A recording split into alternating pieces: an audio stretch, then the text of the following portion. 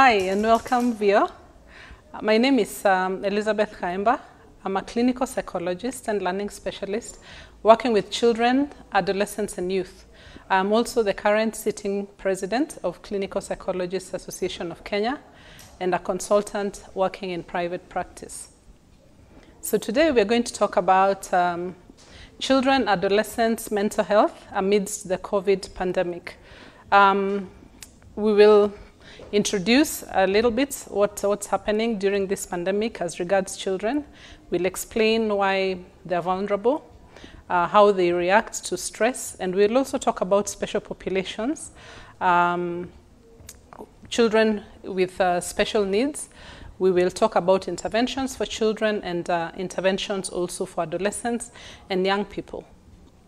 So we all know that this pandemic has really brought with it so much uncertainty and stress to families and the community at large uh, because of the specific restrictions uh, that are in place that curtail its um, mitigating uh, mode of transition, uh, transmission and accompanying morbidity and mortality. We know that uh, uh, there is a lot of stress, there's a lot of fear around COVID, and um, there's fear about how it spreads, there's fear about um, the, the number of people who are dying from it. So um, this basically is what we'll talk about today.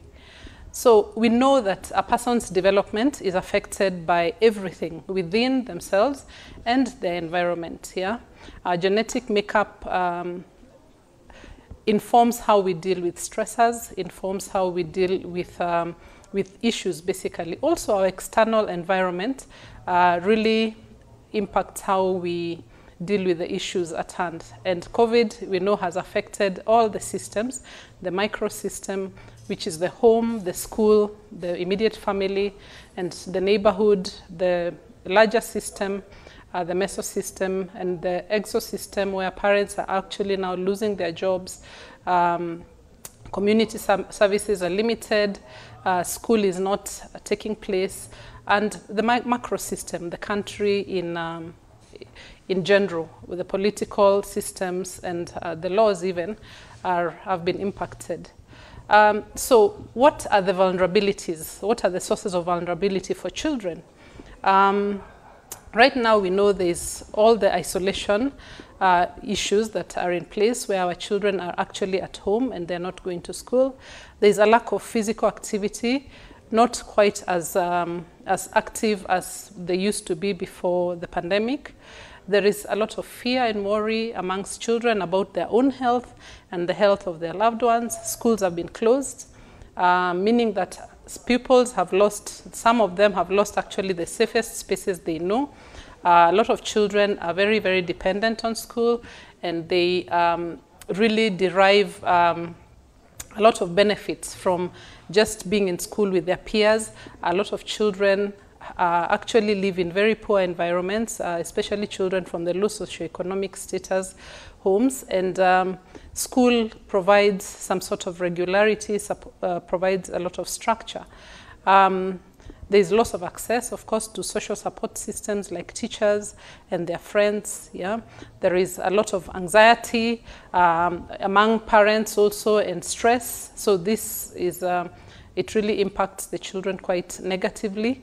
And a lot of children, some of them are actually vulnerable right now to abuse and to trauma, uh, especially those children who are uh, isolating in uh, already abusive environments. We know that some environments, especially the homes, um, some of them are not very peaceful. Some homes are full of um, violence and uh, provoke a lot of fear. And some, of course, have been now introduced into a newly abusive environment where the child, uh, because of the stresses that are around us, the parents are stressed and um, they end up having a lot of issues within the home. Um, other sources of um, vulnerability, of course, are fear and stigma. Um, and even more vulnerable are the children who come from the low socioeconomic status homes, um, those who are living with parents with existing mental health problems. Yeah, those children themselves who have pre-existing mental health problems, and those who are already infected, or those who have been infected, and those who are ex exposed, especially children who are um, living with um, parents who are healthcare workers, and even children who are under quarantine for one reason or, or the other. So how does um, stress manifest in children? Um, and we know that COVID is a big, big stressor for children and adults um, in equal measure. Children, with children, you'll see there's some excessive crying and irritation which was not there previously. Children will regress. Some will go back to sucking their thumbs. Some will go back to wetting their beds. And um, we, we need to really understand that these are stress uh, reactions. Uh, some children will be excessively worried. There'll be unhealthy eating habits or sleeping habits. You may find children have nightmares. Um, children wake up in the night. Children don't want to go to sleep because of fear of falling ill or fear of dying. Uh, you may find some children refusing to eat. Um, there'll be poor school performance in a lot of children, and we have seen um, those who work with children uh, that children actually now also refusing even online schooling. Um, poor concentration, then there'll be a lot of phys physiological uh, complaints, a lot of headaches and body aches. And for the older children, you'll find um, there's more substance use um, where they try to to dull down their worries using tobacco, using um, other substances, using even alcohol. Um, this is, uh, is quite a common uh, thing during uh, stressful situations like we are going through. So let's uh, just talk about the reactions to stress by age. So infants, um, may actually feel the stress from their caregiver or they may feel that their caregiver is upset. upset. Remember that infants usually get uh, a lot of their, their reactions from us who take care of them. So if you are stressed and if you are worried and you're carrying a, a small baby, a three month, two month, one month old baby, you will find that they actually feel how you're reacting. They'll actually feel your emotions um, if you're their main caregiver or if you're one of their main caregivers. So they will cry for no apparent reason. They will not want to be with some people. They will have some people who they feel safe with. And for the older infant, you'll find, uh, for the older child, you'll find that they don't want to play uh, with their toys. Uh, between zero and five years, um, you'll find uh, children regress quite a bit. As I, I mentioned before, they'll go back to thumb sucking, they'll go back to bedwetting. You'll find a child who now suddenly wants to be carried, suddenly wants to be cuddled. You'll find a child may even go back to crawling, a child who had been toilet trained and was walking um, on their own. Um, for the older four, five-year-olds, there'll be lots of fears, fear of illness, so that they don't want anyone touching them. Sometimes even their caregivers, they're, they're afraid of them. Um, there'll be fear of strangers, fear of darkness. Uh, more and more you'll find um, they see monsters under their beds. And again, they may become quite clingy to their caregivers. So it becomes a bit more difficult for mommy to go to work or for daddy to leave the house even for, for a bit. Um, and um, reassuring them sometimes also may just bring about more, more and more anxiety. Um, between zero and five years, again, there might be change in eating habits. Uh, there might be unexplained pains. There might be behavior change, especially around the toddlers, where you'll see them getting a bit more aggressive. They want to hit um, maybe their siblings, even their parents. They get angry a little more than usual. Um, children may withdraw and not want to talk, not want to participate in activities within the home. There may be some hyperactivity where you see a child is really, really a lot more active than usual. Um, children may have speech difficulties which may be re related to uh, regression or may just be a new difficulty that comes up. And we have seen quite a number of children who have become really disobedient. You know, they don't want to follow instructions, they're fighting with the parents and they're fighting with their caregivers. I've seen a lot of uh, change of nannies during this period where um, children are really just acting out trying to cope with uh, the current situation. So between 6 and 10 years, again, you'll find the unexplained pains, the change in eating habits, um, hyperactivity, um, and also one other new symptoms that comes in here is the low mood.